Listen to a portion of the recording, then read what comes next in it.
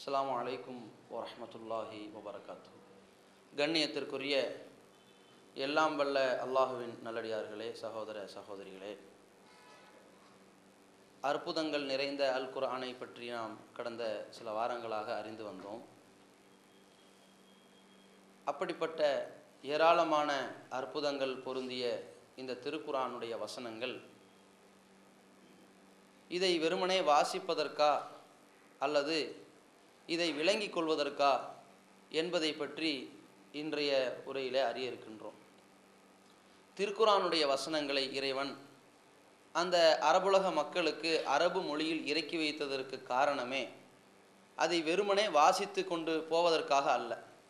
இன்னா ஜால்நாகு குர்ஆனன் அரபியன் ல அல்லக்கும் தாக்கிலூன். மக்களே உங்களுக்கு இந்த குரானை நாம் அரபு மொழியிலே இறக்கி வைத்திருக்கிறோம். ஏனென்றால் நீங்கள் இதை விளங்கி கொள்ள வேண்டும் என்பதற்காக என்று அல்லாஹ் ரபுல் ஆலமீன் அந்த அரபு பேசக்கூடிய மக்களுக்கு இந்த வசனங்களை இறக்கி வைக்கும் பொழுது அதை சொல்கின்றான். அப்போ இந்த குரானுடைய வசனங்களை பொறுத்த வரைக்கும் அதை வாசிப்பதற்கு மட்டுமே அல்ல அதை வாழ்க்கைக்காகவும் இருக்கின்றது என்பதை நாம் தெளிவாக புரிந்து கொள்ள வேண்டும். இன்னும் ஒரு படி மேலாக சொல்ல வேண்டும் என்றால் இந்த வசனங்கள் மூலமாக நாம் சிந்திக்க வேண்டும் செயல்பட வேண்டும் என்பதற்குத்தான் அதை வாசிக்கவே செய்கின்றோம். சிந்திப்பதற்கும் செயல்படுவதற்கும் தூண்டுகோலாக இருப்பதுதான் வாசிப்பதே தவிர வாசிப்பதை மட்டுமே வைத்துக்கொண்டு அதில் ஒரு பெரிய சிறப்பு இருக்கிறது என்று விளங்கிக் கொள்ளக்கூடாது. பொதுவாக இந்த வே வேத வரிகள் திருக்குறானுடைய வசனங்களுக்கு ஒரு எழுத்துக்கு பத்து நன்மை கிடைக்கின்றது என்று நபிசல்லாலயம் சொல்கிறாங்கன்னு சொன்னால் அது ஒரு விதிவிலக்காக நமக்கு சொல்லப்பட்டிருக்கிறது. ஏனென்றால் இது அல்லாஹனுடைய வார்த்தை. அல்லாஹு பிரயோகித்த வார்த்தை. அல்லாஹ் அந்த லவ்ஹுல் மஹ்பூலிலே பதிவு செய்த ஒரு வார்த்தைகள். இது அல்லாஹுனுடைய வார்த்தை என்ற காரணத்தினால் அது நமக்கு புரியுதோ புரியலையோ அதை வாசிக்கும் பொழுது ஒரு எழுத்துக்கு பத்து நன்மை நமக்கு கிடைத்து விடுகிறது. அதில் மாற்று கருத்து அல்ல. ஆனால் ஒருவனுக்கு வாசிக்கவே தெரியவில்லை என்று வைத்துக் கொள்ளுங்கள். குரானில் என்ன சொல்லப்பட்டிருக்கிறதோ அதை தன் வாழ்க்கையில் அமல் செய்கின்றான். இவனை அல்லாஹ் தன்னுடைய சன்னிதானத்தில் வைத்து பார்க்கும் பொழுது இன்னொருவன் வாசிக்க மட்டும் செய்தான். அதனுடைய எந்த விதமான அறிவுரைகளையும் தன் வாழ்க்கையில் அமல் செய்யவில்லை. இவனை அல்லாவுடைய பார்வையில் வைத்து பார்க்கும் பொழுது இவன் கெட்டவனாக முனாஃபிக்காக போய்விடுவான். இறை வேதத்தை வாசித்திருந்தாலும் சரி. அவன் வாசிக்க தெரியாவிட்டாலும் பரவாயில்லை. அதற்கு அவன் முயற்சித்தும் அது வாசிக்க முடியாவிட்டாலும் பரவாயில்லை. வேதம் என்ன சொன்னதோ வார்த்தை இறைவனுடைய வார்த்தை என்ன சொன்னதோ அதை செயல் வடிவத்தில் கொடுத்து விட்டான். எனவே இவன் அல்லாவுடைய பார்வையிலே சிறந்தவனாக ஆகிவிடுவான். அதைத்தான் அல்லாஹ் ரபுல் ஆலமீன் இந்த வசனங்களை பற்றி அல்லாஹ் சொல்கின்றான். வழக்கது எஸ்ஸர்னல் குரான் ஐம்பத்தி நான்காவது அத்தியாயத்தில் பதினேழாவது வசனம் இருபத்தி ரெண்டாவது வசனம் முப்பத்தி ரெண்டாவது வசனம் நாற்பதாவது வசனம் நான்கு இடத்திலே சொல்கின்றான் வழக்கது எஸ்ஸர்னல் குரான் இந்த குரானை ரொம்ப இலகுவாக உங்களுக்கு கொடுத்திருக்கின்றோம். எதற்காக? லி திக்ரி விளங்க வேண்டும். இதன் மூலமாக நீங்கள் சிந்திக்க வேண்டும். ஃபஹல் மீன் முத்தகிர் இதை சிந்திப்பவர்கள் யாராவது இருக்கிறார்களா? என்றுதான் அல்லாஹ் கேட்கின்றான். இதை வாசிப்பவர்கள் யாராவது இருக்கிறார்களா என்று கேட்கவில்லை. அப்பலாயத்த தப்பருணல் குரான் அம் அலா குழுவின் அக்ஃபாலுகா அவர்கள் இந்த குரானை சிந்தித்து பார்க்க வேண்டாமா? அல்லது அவர்களுடைய சிந்தனைக்கு பூட்டு போடப்பட்டிருக்கிறதா என்று அல்லாஹ் கேட்பதற்கு காரணம் இந்த வசனங்கள் உங்களை சிந்தனையூட்ட வேண்டும். அதன் மூலமாக நீங்கள் விளங்கி நல்ல முறையிலே வாழ்க்கையை நடத்த வேண்டும் என்பதற்குத்தான் அல்லாஹு ரபுல் ஆலமீன் இந்த இறை வசனங்களை நமக்கு இறக்கி வைத்திருக்கின்றான் என்பதை நாம் புரிந்து கொள்ள வேண்டும். எந்த அளவிற்கு நபிசல்லாலையும் சொல்கிறாங்கன்னா இதற்கு அழகான ஒரு உதாரணத்தை கூட சொல்கிறாங்க ஒருவன் திருக்குரானை மசல் மூமின் அல்லது எக்ரவுல் குரான் ஓ யாமலுபிஹா ஒருவன் குரானை நல்ல முறையிலே வாசிக்கின்றான். வாசிக்கவும் அவனுக்கு தெரிகின்றது. அதன் வழியிலே நடக்கவும் செய்கின்றான். சிந்திக்கின்றான் செயல்படுகின்றான். இப்படி வாசிப்பது அதோடு தன் வாழ்க்கைக்கு பயன்படுத்தியது. இந்த இரண்டையும் செய்த ஒரு முஸ்லிம் எப்படிப்பட்டவன் என்றால் கல் அத்ருஜா அவன் ஒரு ஆரஞ்சு பழம் மாதிரி. ஆரஞ்சு பழத்திற்கு தான் என்ன இருக்கும்? வாசனையும் இருக்கும். அதனுடைய சுவையும் இனிப்பாக இருக்கும். அப்போ நபிசல்லா சொல்கிறாங்க இந்த வாழ்க்கைக்கு இந்த திருக்குறானுடைய வசனங்களை பயன்படுத்தி கொண்டதோடு வாசிக்கவும் செய்தவன் வாசித்ததால் இந்த பழத்தை போன்ற மனத்தை பெறுகின்றான். அவன் தன் வாழ்க்கைக்கு இந்த வேதத்தை பயன்படுத்தி கொண்டதால் சுவையை பெற்று விடுகின்றான் என்று சொல்கிறார்கள். இன்னொரு இடத்துல சொல்கிறாங்க அது தொடர்ந்து சொல்கிறாங்க ஒருத்தனுக்கு வாசிக்கவே தெரியல. லாயக்கரவுல் குரான் அவன் குரானை வாசிக்கல. ஆனால் அதன் வழியில் சரியாக நடந்து விட்டான். இப்படிப்பட்டவன் என்ன செய்கின்றான்? இவன் அல்லாவுடைய பார்வையில் எப்படி இருக்கிறான் என்றால் கத்தம்ரி அவன் பேரிச்சம்பளம் போன்றவன். ஏனென்றால் பேரிச்சம்பளத்திற்கு வாசனை இருக்காது. சரியான ஸ்மெல் அடிக்குதே என்ன அஜுவாவா? இப்படியான கேட்போமா? டேஸ்ட்டை பார்த்து தான் சொல்லுவோம். ஆனால் அது சூழ் அதனுடைய சுவை தித்திப்பாக இருக்கும் சிறப்பாக இருக்கும் சுவையாக இருக்கும். அப்போ நபிசல்லா அலிஸ்லாம் அவர்கள் சொன்னது இதனுடைய நறுமணம் இருக்காது ஆனால் சுவை இருக்குது. அது மாதிரி தான் யார் வாசிக்க முடியலையோ ஆனால் தன்னுடைய வாழ்க்கைக்கு அதை பயன்படுத்தி கொண்டார்களோ அவர்கள் பேரிச்சம்பளம் மாதிரி என்று சொன்னார்கள். யார் இந்த வேத வரிகளை தன் வாழ்க்கையின் எந்த வகையிலும் பயன்படுத்தி கொள்ளாமல் நல்ல முறையில் மனப்பாடம் பண்ணிக்கிட்டு வாசித்து கொண்டு போனானோ அவனை முனாஃபிக்னு சொல்கிறாங்க மசலுல் முனாஃபிக் நயவஞ்சகனுக்கு உதாரணம். யார்? குரானை வாசித்து கொண்டு அதன் வழியில் நடக்காமல் இருக்கிறார்களே சிந்தித்து செயல்படாமல் இருக்கிறார்களே இவர்கள் துளசி செடி மாதிரி. துளசி செடி தான் அதன் வாசனை சூப்பராக இருக்கும். அப்படியே பார்ப்பது கவர்ற மாதிரி இருக்கும். ஆனால் அதனுடைய சுவை கசப்பாக இருக்கும். இன்னும் தரங்கெட்டவர்கள் இருக்கிறார்கள். யார் குரானை வாசிக்கவும் இல்லாமல் அதை விளங்கவும் இல்லாமல் இருக்கிறார்களோ அவர்கள் குமட்டிக்காய் மாதிரி. அதனுடைய வாசனையும் ரொம்ப ஒரு மாதிரியான துர்வாட்ட மாதிரி இருக்கும். அதனுடைய சுவையும் கசப்பாக இருக்கும் என்று நபிகள் நாயகம் சல்லா அலிஸ்லாம் அவர்கள் சொல்லக்கூடிய செய்தியை சஹி முஸ்லீம் என்ற அதிசயம் உள்ள ஆயிரத்தி முந்நூற்றி முப்பத்தி ரெண்டாவது செய்தியை பார்க்கலாம்.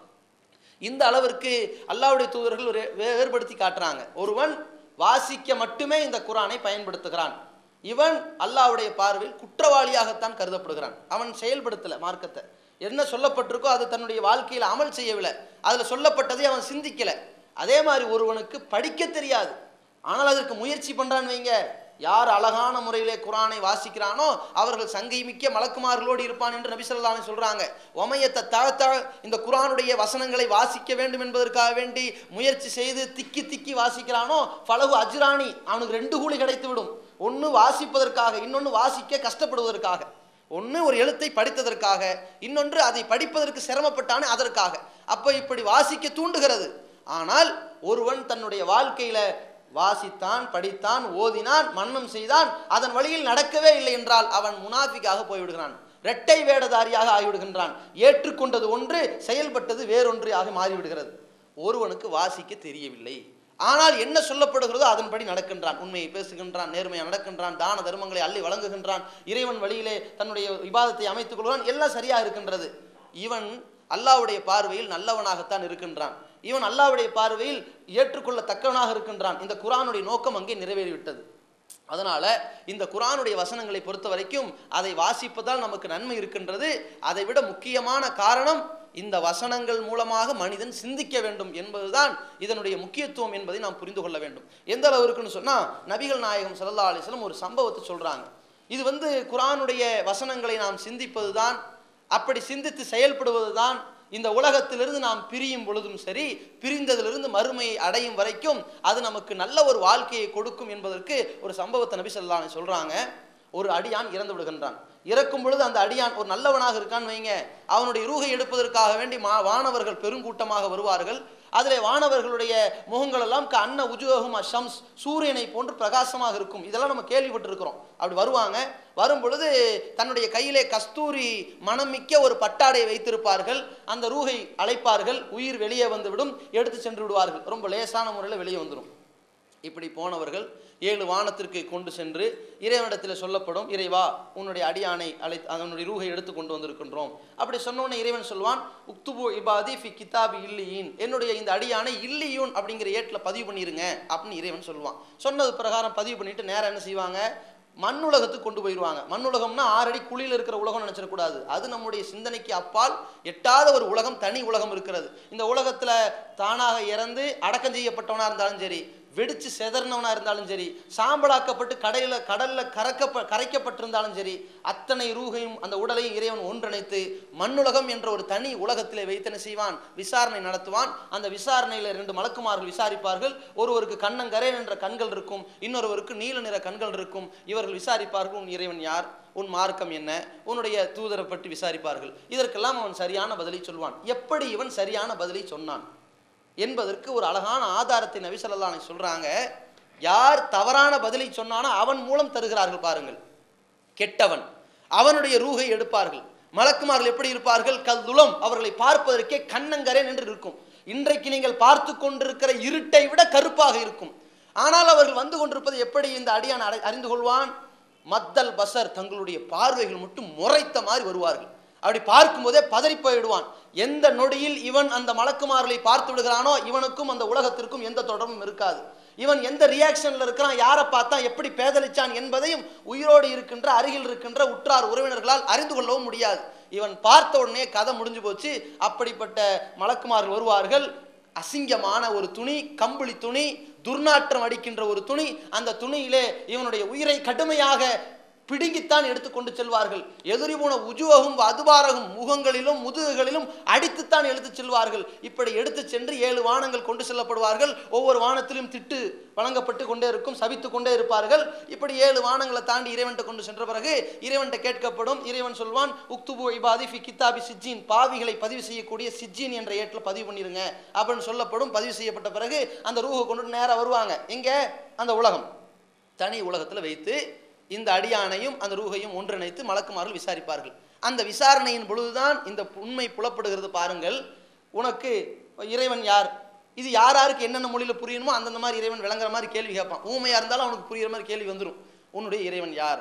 அவன் தெரியல லாதிரி எனக்கு தெரியாது அப்படிமா உன்னுடைய மார்க்கம் என்ன? தெரியாது அப்படிமா இந்த தூதரை பற்றி தெரியுமா? தெரியாது அப்படிமா எந்த கேள்விக்கும் பதில் வராது.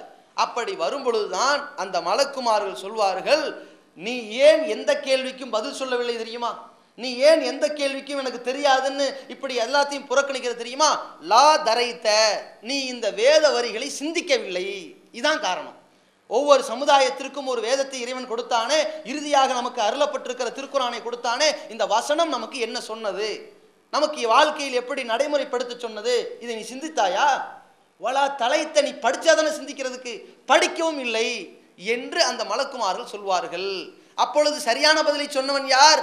இந்த வேத வரிகளை வாசித்தவன் அந்த வசனங்களை அப்படியே சிந்தித்தவன் அதன் வழியிலே நடந்தவன். சரியாக பதில் சொன்னான் மன்னரையில் தப்பித்து கொண்டான். சொர்க்கம் காட்டப்படுகிறது நரகம் காட்டப்படுகிறது. நரகத்திலிருந்து தப்பித்தவனாக சொர்க்கத்தினுடைய வாடையை அதனுடைய வாசனையை இன்பமயமான வாழ்க்கையை பார்த்து கொண்டவனாக நிம்மதியாக உறங்கி விடுகின்றான் பாவியாக இருப்பானே. ஆனால் தன்னுடைய தலை நசுக்கப்பட்டு பூமியிலே அவனுடைய அதாவது அந்த மண்ணறையிலுடைய வாழ்க்கையில இருக்கப்பட்டு கடுமையான வேதனைக்கு சிரமப்படுத்தப்படுவான். இப்படியாக இவனுடைய வாழ்க்கை சென்றுவிடும் என்றால் இந்த மார்க்கம் இந்த வேத வரி குறித்து என்ன சொல்கின்றது?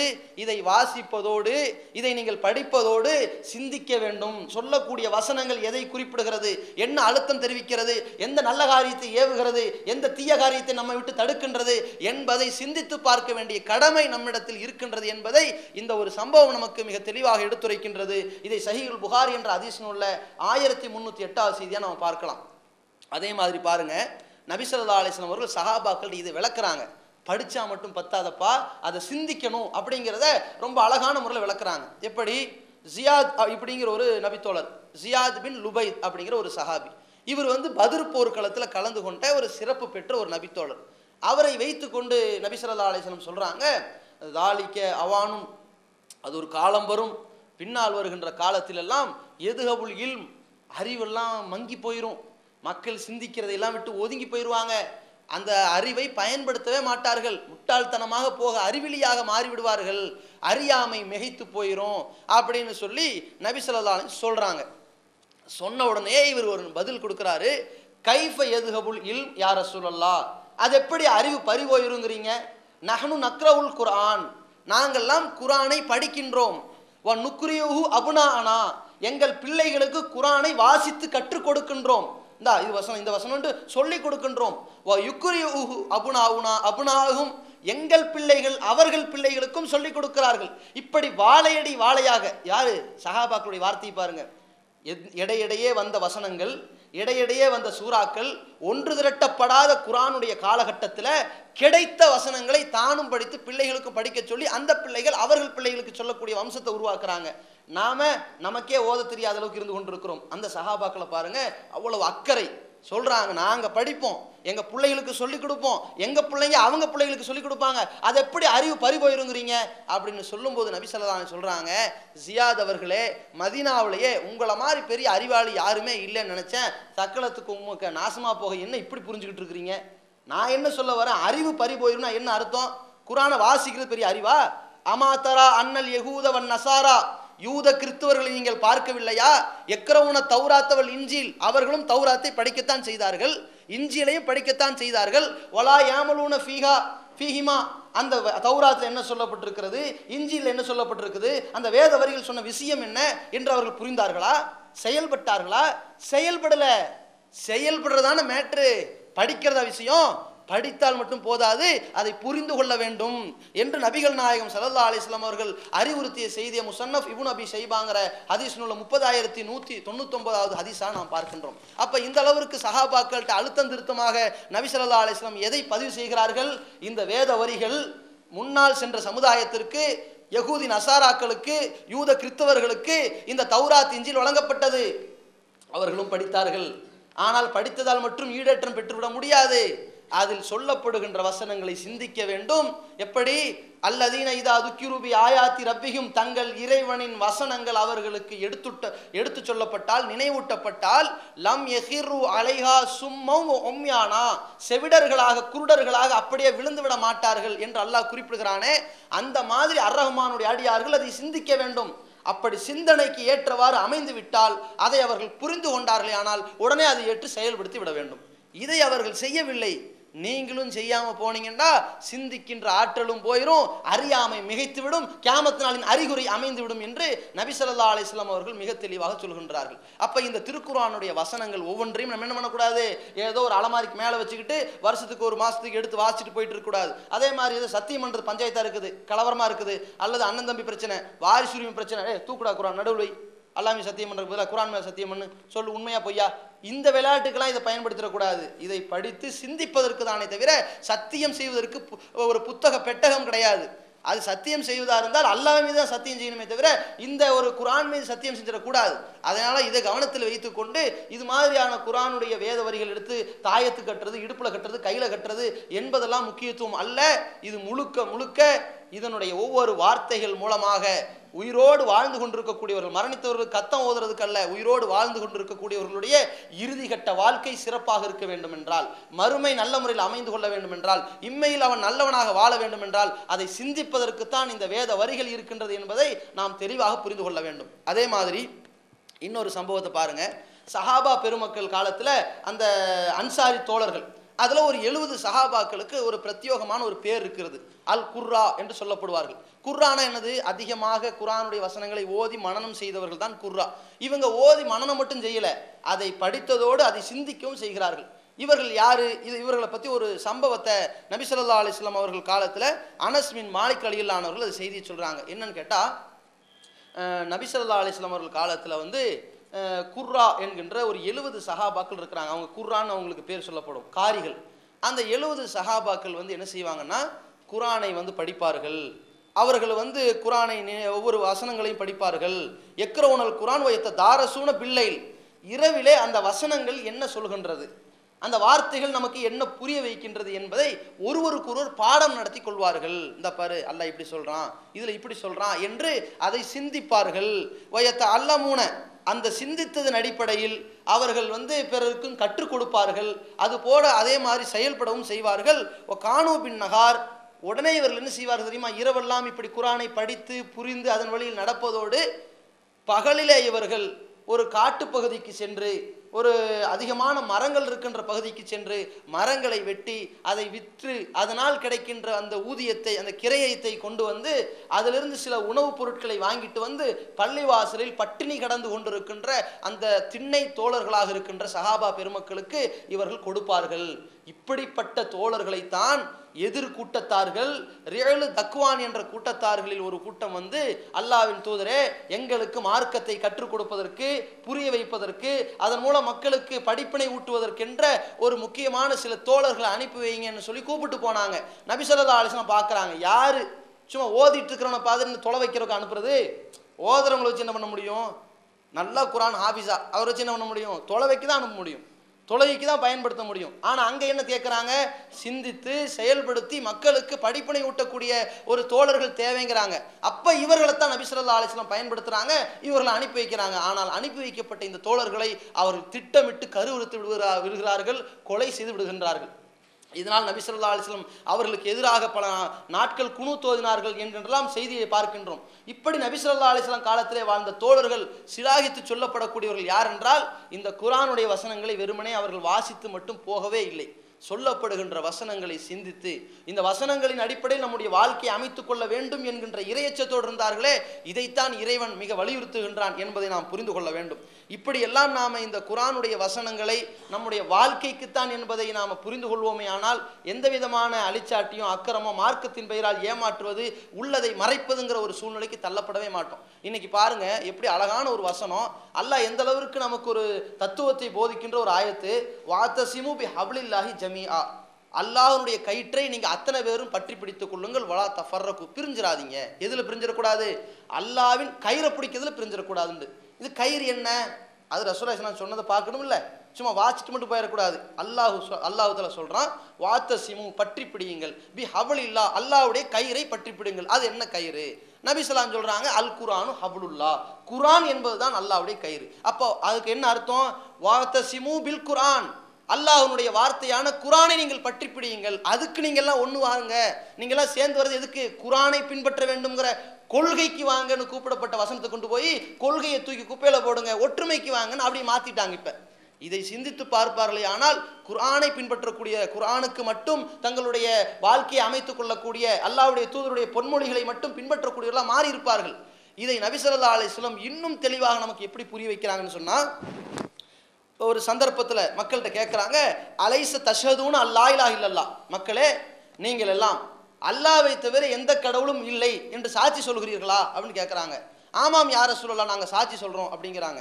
அதுக்கப்புறம் நபிஸ்லாம் சொல்கிறாங்க ஓ அன்னல் குரான ஜாமின் ஐந்தில்லா இந்த குரான் அல்லாவிடம் இருந்துதான் வந்தது என்பதை நீங்கள் நம்புகிறீர்களா சாட்சி சொல்கிறீர்களா என்று கேட்குறாங்க ஆமாம் நம்புகிறோம் அப்படின்னு சொல்கிறாங்க சஹாபாக்கள். அதற்கு பிறகு சொல்கிறாங்க ஃப அபிஷிரு நீங்கள் நற்செய்தி பெற்றுக்கொள்ளுங்கள் ஃப இன்ன ஆதல் குரான் இந்த குரான் என்பது என்ன தெரியுமா?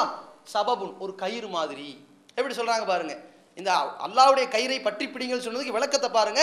இந்த குரான் என்பது ஒரு கயிறு மாதிரி. தர்ஃபுஹூபி எதில்லா இந்த கயிறு இதனுடைய கயிறுக்கு ரெண்டு முனை இருக்கும் அல்லவா? ஒரு முனை அல்லாவின் கையில் இருக்கின்றது. ஓ தர்ஃபுஹூபி ஐதிக்கும் ஐதீக்கும். இன்னொரு முனை உங்கள் கைகளில் இருக்கின்றது. குரான் இருக்குல்ல? இதனுடைய வார்த்தை அல்லாஹ்வுடைய வார்த்தை தானே? அல்லாஹ்வின் வார்த்தைகள் என்ற கயிறை அதன் ஒரு முனையை நாம் வைத்திருக்கின்றோம். இன்னொரு முனையை அல்லாஹ் பற்றி பிடித்திருக்கின்றான். இந்த தொடர்பு. இதை நீங்கள் பற்றி பிடித்தால் நீங்கள் இதை விளங்கினால் இதை நீங்கள் சிந்தித்தால் லன் தூளிக்கு அபதா. ஒரு காலத்திலையும் வழி தவற மாட்டீர்கள் என்று நபிசல்லாஹ் சொன்னார்களே இந்த வசனத்தின் அடி- இந்த ஹதீஸின் அடிப்படையிலே அல்லாஹ்வுடைய கயிறு என்று சொல்லப்படுகின்ற இந்த குரான் நம்மை வழிகேட்டில் தள்ளாமல் இருப்பதற்கான மிகப்பெரிய பற்றி பிடிக்கக்கூடிய ஒரு ஆயுதமாக இருக்கின்றது. ஒரு நேரான பாதையின் பக்கம் இழுத்துச் செல்லக்கூடிய ஒரு பயணியாக இருக்கின்றது. அப்படிப்பட்ட இந்த திருக்குரான் என்பது நாம் அன்றாடம் வாசித்து உங்களுடைய வீடுகளில் சூரத்துல் பக்கரா ஓதுனீங்கன்னா சைத்தான் நுழைய மாட்டான். அது வசனங்களை வாசிப்பதற்கான சிறப்பு. அது பிரத்யோம ரசூலா சொல்லிட்டாங்க. ஆனால் இந்த ஒவ்வொரு வசனங்களையும் நாம் வாசிப்பதற்கான நன்மை ஒரு பக்கம் இருக்கும். ஒருவன் வாசித்தும் அதன் வழியில் நடப்பானையானால் ஒரு சிறந்தவன் தான். ஆனால் வாசித்தால் மட்டும் போதும். நாலு வசனத்தை ஓதுனா மட்டும் போதும். அதில் சொல்லப்படுற எதையுமே சிந்திக்க வேண்டியதில்லை செயல்பட வேண்டியதில்லைன்னு ஒருத்தன் புறக்கணித்து போவானே ஆனால் அவன் பாவியாக போயிடுவான் ஒருத்தனுக்கு வாசிக்கவே தெரியல. ஆனால் சொல்லப்படுகின்ற அறிவுரைகளை கேட்கிறான். திருக்குறான் என்று சொல்லப்பட்ட உடனே நம்புகிறான். அதன் வழியில் நடக்கிறான் என்றால் இவன் அல்லாவுடைய பார்வையில் மிகச் சிறந்தவனாகி விடுகின்றான். இதை கவனத்தில் வைத்துக்கொண்டு இந்த வசனங்கள் எல்லாம் அற்புதங்கள் பொருந்திய இந்த வயத வரிகளை எல்லாம் நம்முடைய வாழ்க்கையில் செயல்படுத்தக்கூடிய நன்மக்களாக நாம் இந்த வசனங்களை வெறுமனை வாசிப்பதோடு விட்டுவிடாமல் சொல்லப்படுகின்ற ஒவ்வொரு வார்த்தைகள் ஒவ்வொரு வேத வரிகள் என்ன நமக்கு புரிய வைக்கின்றது? அதிலிருந்து அல்லாஹ் நமக்கு என்ன படிப்பினை ஊட்டுகின்றான் என்று சிந்தித்து செயல்படக்கூடியவர்களாக நாம் மாற வேண்டும். அன்றைய சகாபாக்கள் முதல்ல என்னது? குரானை நம்பணும். நம்பினதுக்கு பிறகு என்னது? அதில் ஒவ்வொரு வசனத்தையும் சிந்திக்கணும். சிந்திச்சதுக்கப்புறம் என்ன? சொல்லப்பட்ட வசனங்கள் அடிப்படையில் நம்ம வாழ்க்கையை அமைச்சுக்கணும். ஒவ்வொரு வசனம் நமக்கு சொல்லப்படுகிறது என்றால் அந்த வசனத்தில் ஒரு நல்ல காரியத்தை பற்றி நமக்கு கட்டளையிடப்பட்டால் நம்மள்கிட்ட அந்த நல்ல காரியம் இல்லாட்டி என்ன செய்யணும்? அதை வளர்த்தி கொள்ள வேண்டும். ஒரு ஆயத்தில் சொல்லப்படுகிறது அல்லாஹ் நமக்கு ஒரு பாவத்தை விட்டு நம்மை தடுக்கின்றான் தடு தடை செய்கின்ற ஒரு கட்டளை இடுகின்றான் எச்சரிக்கை விடுக்கின்றான் என்றால் அந்த ஆயத்தை கேட்ட மாத்திரத்தில் என்னுடைய தவறை நான் ஒதுக்கிக் கொள்ள வேண்டும். இதுதான் இந்த வசனத்தின் அடிப்படையில் நாம் செயல்படுவதற்கான அர்த்தம். இதை சகாபாக்கள் எப்படி செயல்படுத்தி காட்டினார்கள்? தங்களுடைய வாழ்க்கையில இந்த வேத வரிகள் ஒரு ஒரு அறிவுரையை சொல்லும் பொழுது உடனே நம்முடைய நல்ல அமல்களை எப்படி அதிகப்படுத்திக்கிட்டாங்க? பாவமான காரியத்திலிருந்து எப்படி ஒ- ஒதுங்கி கொண்டார்கள்? எப்படி தன்னுடைய வாழ்க்கையில அப்படி ஒவ்வொன்றையும் ஒத்து பார்த்து தன்னை இரையச்சவான்களாக மாற்றிக்கொண்டார்கள் என்பதை பற்றி இன்ஷா வரக்கூடிய வார ஜும்மா உரையில அறிந்து அதன் வழியிலும் பல்வேறு படிப்பினைகளை அறிந்து கொள்வோமாக. வாகிருதவான் அலமதுல்லாஹி ரபில்